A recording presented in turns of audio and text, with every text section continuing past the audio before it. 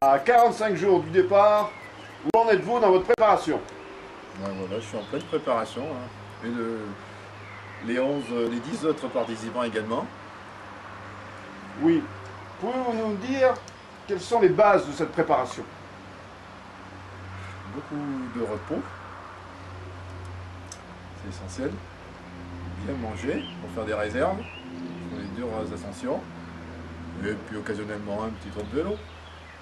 D'accord. Pouvez-vous nous expliquer pourquoi Fido et Freecrise sont les principaux partenaires de votre périple?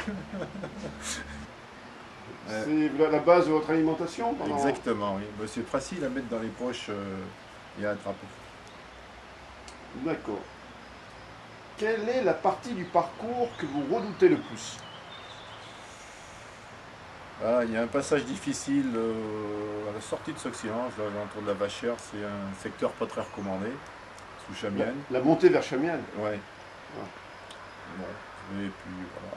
Sinon, Sinon- le reste, c'est de la bagatelle. Si vous passez Chamienne, vous êtes Si sûr d'arriver à Chamienne, euh, aucun problème. Galibier, Glandon, il y a tous ces cols-là, sans souci. Enfin, dernière question. Est-ce que l'ensemble de votre groupe est-il moralement prêt? Ah, ils sont au top, ils sont remontés comme des pendules. Ok, Ils attendent le jour J. d'accord. Donc, euh, vous êtes euh, content d'amener ce groupe à Fosinovo Oui, je suis simplement un petit peu déçu parce que il y a eu un forfait de dernière minute Ah, de, de- de Vincent Chalet qui n'était pas d'accord sur le parcours. Euh, il tenait à tout prix à ce que, une fois dans la moyenne, on attaque par la Madeleine euh, le massif d'en face. Et bon, à l'unanimité, le reste du groupe euh, préférait partir sur le Galibier. je crois vous voulez faire la bueuse aussi. Et que... Oui, voilà, donc euh, il y a eu des accords sur le parcours. Et, je me suis navré. Ça, c'est dommage.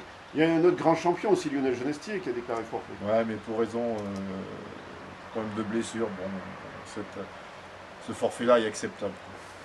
Oh, on me sent aigri contre Vincent Chalet. Un petit peu, un petit peu. Bon, merci.